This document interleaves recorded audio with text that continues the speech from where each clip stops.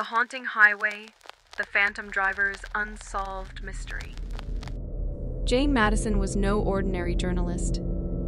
In her mid 30s, with raven black hair and striking green eyes that mirrored her fierce determination, she was known for uncovering stories that others dared not touch.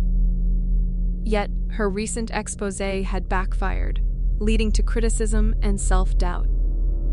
She needed redemption, a story to reclaim her lost reputation. An offhand mention of the lost highways by an old barkeeper in a forgotten town caught her attention. Intrigued by tales of the phantom driver who appeared after midnight, Jane decided to investigate.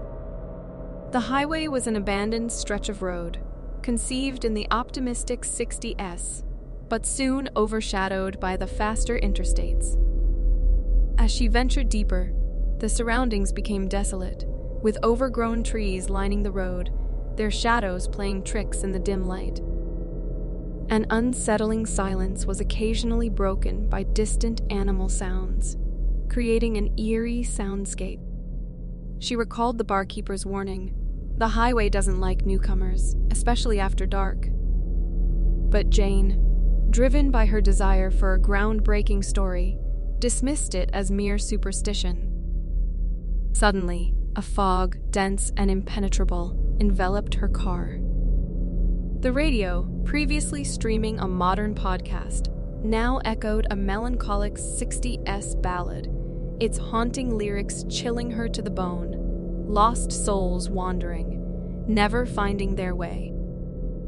From this fog emerged blinding headlights of a car that seemed intent on getting Jane's attention. Its persistence was unsettling.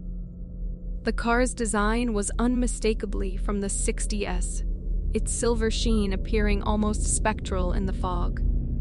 Seeking refuge, Jane took an exit leading to a forsaken gas station.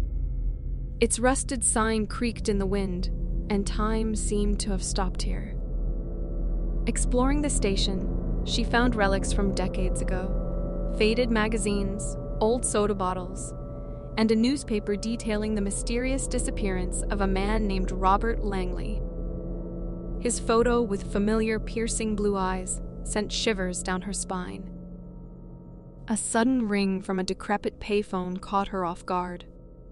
Answering it hesitantly, she heard a whisper Leave while you can. The voice bore an uncanny resemblance to Robert's based on voice recordings she'd heard earlier. As she pondered this connection, her car mysteriously failed to start. The silver car pulled up silently beside her. Its door opened slowly to reveal Robert, or what was left of him. His form was translucent, his blue eyes now filled with eternal sorrow. I tried to warn you. He murmured. Jane, paralyzed by fear, suddenly noticed another wrecked car hidden in the underbrush nearby, eerily similar to her own. Approaching it, she discovered her own lifeless form. The chilling truth dawned on her. Robert, their phantom driver, was not a vengeful spirit, but a lost soul trying to prevent others from sharing his grim fate. Jane was now bound to the haunting highway, another phantom driver with a tragic tale to tell. Years later, another journalist would venture onto the highway, drawn by whispers of Jane Madison and Robert Langley's unsolved mysteries. The cycle continued with the highway claiming more souls, adding to its haunting legends.